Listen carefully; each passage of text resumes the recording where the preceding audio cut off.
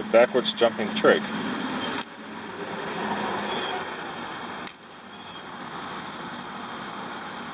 Interesting.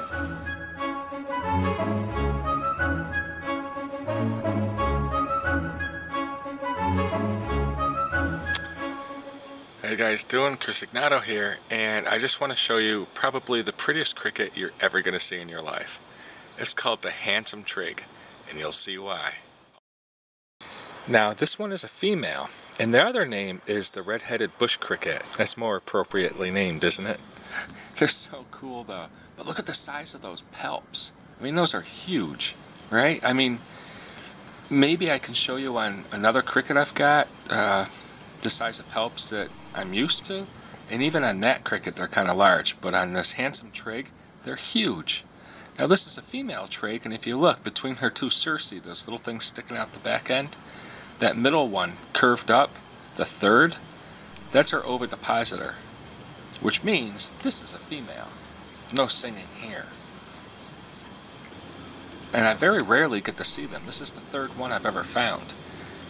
In fact, I saw this one hopping along in the grass and it just caught my eye. I bent down to look and I got quite excited because, as I said, I don't get to see these too often. But very beautiful, aren't they? They're not very long, about a centimeter, uh, but their colors just catches your eye. So does the movement. It's not the usual colors you're used to in crickets and trigs and whatnot. You know, they're often green, brown, or black.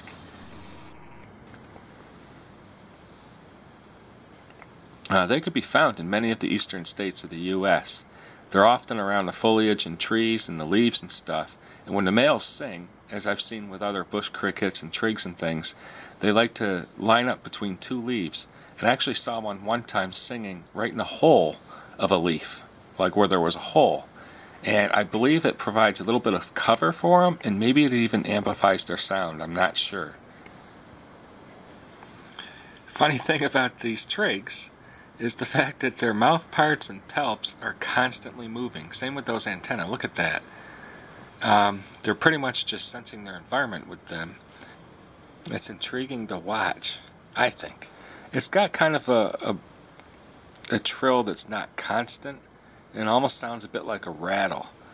Uh, but it's pretty loud for the for the cricket. Unfortunately, this one's a female, so you're not going to hear this one singing, and nor am I. Now the Latin name of this trig, Phyllopalpus pulchellus, actually means beautiful leaf feeler, and that is an appropriate name.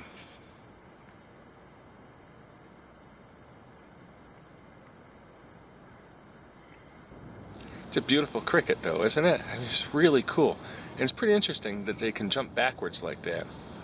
Anyhow, if you guys are lucky enough, I really hope you get to see one in person because on video, it's nothing compared to in person. So thanks a lot for watching, guys. Once again, I'm Chris Egnoto, signing out.